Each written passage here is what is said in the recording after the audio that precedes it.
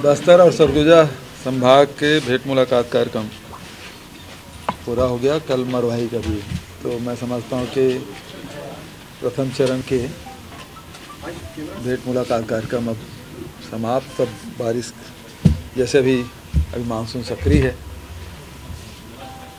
किसान और मजदूर खेतों पे हैं तो थोड़ा दिन अब विधानसभा सत्र के बाद इसको मौसम देख के फिर कार्यक्रम अगला बनाया जाएगा। एक तरफ़ पेट्रोल डीजल के भाव में वृद्धि दूसरे तरफ़ ट्रेन है वो आम जनता के लिए सस्ता यातायात का साधन था। उसे भी बंद करके आम जनता के जेब में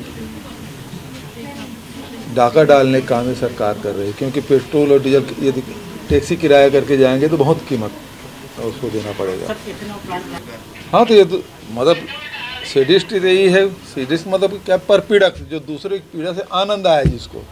तो गरीब जनता जो यात्रा कर रहे हैं और वो सस्ता उसको यातायात का साधन है उसे आप छीन लिए तो आम जनता की पीड़ा पहुँच रही है उसको। मज़ा आ रहा है। तो आज तक एक कभी कोई सरकार है वो ट्रेनें बंद नहीं की थी और वो महीने ये कोई आठ दिन पंद्रह दिन की बात नहीं है। तीन तीन महीने हो गया लगातार इसको बंद रखा गया है। ये तो जनता को अब समझना होगा कि ये वोट किसी और मुद्दे पे मांगते हैं और काम कोई दूसरा करते हैं।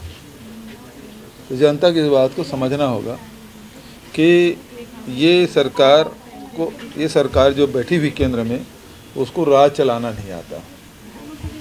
ट्रेनें वो चला नहीं पा रहे हैं, एयरपोर्ट वो संचालित नहीं कर पा रहे हैं, सार्वजनिक उपक्रम वो संचालित नहीं कर पा रहे हैं। पावर प्लांट को कोयला उपलब्ध नहीं पा कर पा रहे हैं। किसानों को खाद उपलब्ध नहीं करा पा रहे हैं और नौजवानों को रोज़गार उपलब्ध नहीं करा पा रहे हैं। अग्निवीर लाना इसका एक जीता जागता उदाहरण है। तो ये केंद्र सरकार पूरी तरह से आम जनता के कसौटी में ये असफल रही है। अभी सरगुजा में, बिलासपुर संभाग में और बस्तर संभाग में बारिश अच्छी हुई है, लेकिन ये रायपुर और दुर्ग संभाग के कुछ जिलों में बारिश कम हुई है ये चिंता का विषय है। इसको हम लोग लगातार नज़र बनाए हुए हैं। अपराधियों को बचाने की कोशिश। यूपी पुलिस अपराधियों को बचाने की कोशिश कर रही है जबकि उसको सहयोग करना था। और यहाँ वो अपराधी को आरोपी को बचाने की कोशिश कर रहे हैं। न्यायालय के कोई भी जो आदेश है उसको ये भारतीय जनता पार्टी नहीं मानती। अभी जिस प्रकार से अभी जो दिल्ली पुलिस पकड़ने गई थी, उसमें वो बाधा उत्पन्न किए अभी नुपुर शर्मा के संबंध में जिस प्रकार सुप्रीम कोर्ट का बयान आया, उसमें ये भारतीय जनता पार्टी समर्थित लोग किस प्रकार से उस निर्णय का ट्रोल किए हैं तो ये न्यायालय को नहीं मानते, संविधान को कमज़ोर करना चाहते हैं। ये अपने हिसाब से एजेंडा चलाना चाहते हैं। अभी गौठान हम लोग बनाए हैं, सक्रिय गौठानों की संख्या बढ़ी है। गोबर विक्रेताओं की संख्या बढ़ी है वर्मी कंपोस्ट के मात्रा में वृद्धि हुई है। आ, लेकिन इसे अब रूरल इंडस्ट्रियल पार्क के रूप में हम लोग डेवलप कर रहे हैं ताकि वहाँ लोगों को हर प्रकार के रोज़गार मिल सके। दाल मिल भी है तेल मिल भी लगा रहे हैं हालर लगा रहे हैं।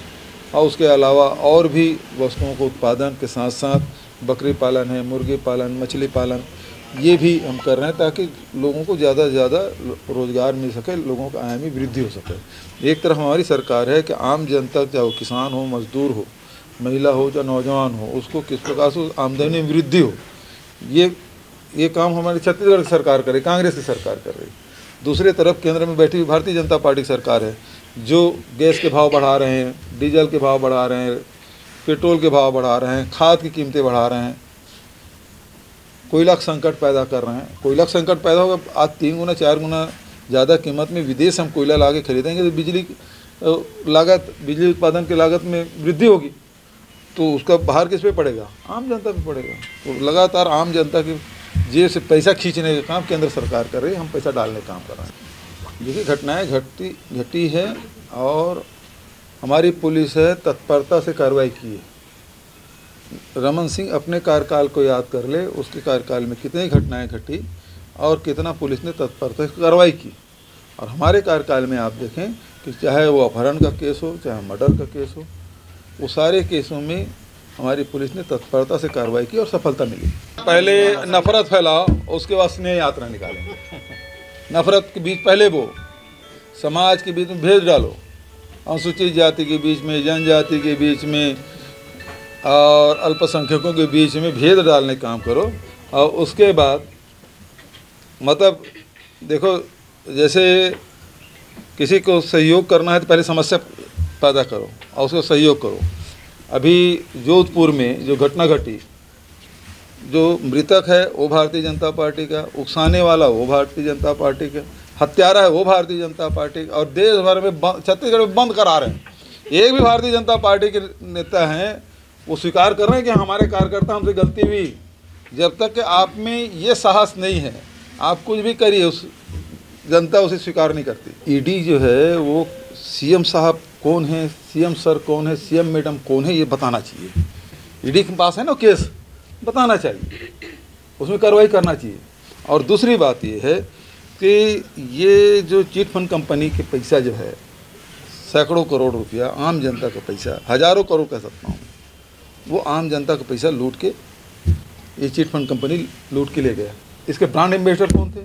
रमन सिंह, उसके परिवार के लोग, उसके बेटा जो सांसद। ये लोग तो थे, खूब प्रचार के मतलब ब्रांड एम्बेसडर बने हुए थे।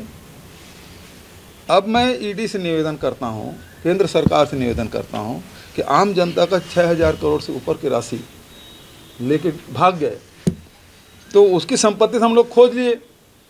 खोज रहे हैं तो अभी तक के चालीस करोड़ रुपए ही वापस कर पाए हैं। राजनांदगांव में, रायपुर में, धमतरी में, बिलासपुर में।